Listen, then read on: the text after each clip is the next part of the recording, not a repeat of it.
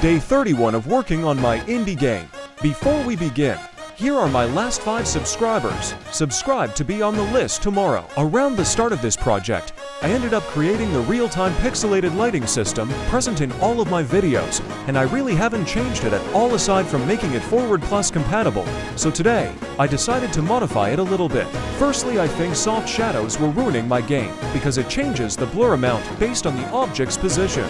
So when you even slightly moved your arms, it would destroy the look and feel of the game.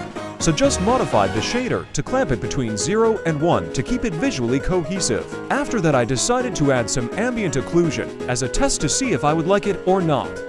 And I think it looks decent so in the next coming days instead of having it as a post-processing pass adding more draw calls to the game. We'll keep it under one single material and use some HLSL to code it. If this video gets 25 likes by October 20th, I will make the lighting open source so you can use it in your own Unity games. Like and comment for day 32.